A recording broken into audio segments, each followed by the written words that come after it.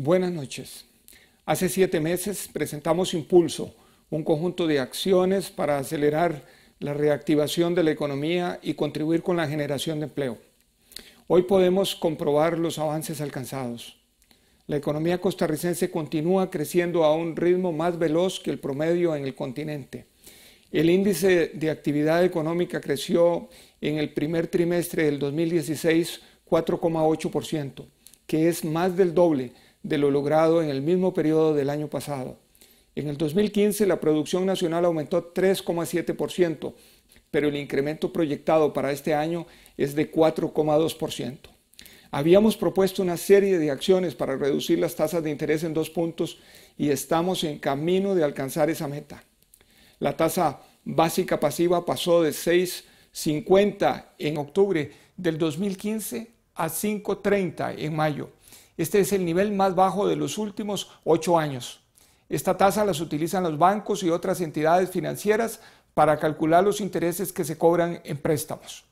De esta manera se incentiva la inversión y el consumo. En las otras medidas también hay avances. La empresa que prestará el servicio del ferry entre Puerto Caldera y El Salvador anunció el inicio de operaciones para el mes de julio. El viaje se reducirá de tres días a 20 horas y los costos bajarán a la mitad. Para hacer realidad ese servicio ya se reformó el reglamento de transporte multimodal y se hicieron las modificaciones al sistema de tecnología de información para el control aduanero TICA. De igual manera está lista la coordinación entre las instituciones del gobierno involucradas. El Ministerio de Turismo ya anunció la adjudicación para construir el centro de convenciones, una obra con capacidad para 3.000 personas y que significará un aumento adicional de turismo del 4% anual. El sistema de banca para el desarrollo alcanzó niveles históricos con la colocación de 127 mil millones de colones en el 2015, lo que implica que en un solo año se duplicó todo lo que se había colocado en la historia de este sistema desde el 2008.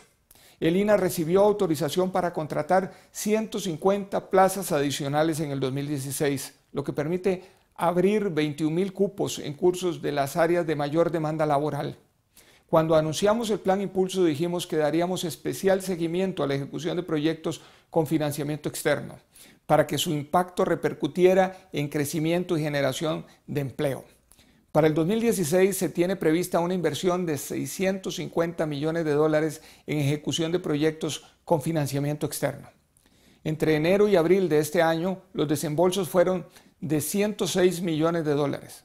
Además, dentro de esta cartera de inversión hay programas y proyectos de reciente aprobación legislativa, como el programa de infraestructura de transporte por 450 millones de dólares y la ampliación de la carretera a Limón por 396 millones de dólares. También hay progreso en la simplificación de trámites.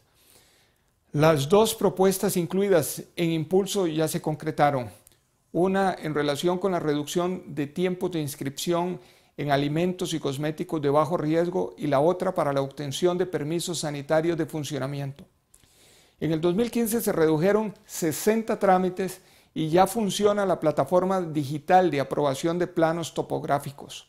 Y actualmente existen 64 planes de mejora regulatoria institucionales que procuran simplificar 160 trámites, todo este esfuerzo para dar mejores condiciones a sectores productivos, a micro, medianas y pequeñas empresas, favoreciendo la competitividad de Costa Rica. Desde el año pasado, la Secretaría Técnica Nacional Ambiental CETENA conformó el equipo de profesionales para agilizar los proyectos de inversión pública.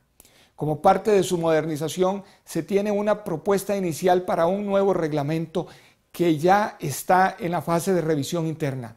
Esto hará más rápida la aprobación de proyectos.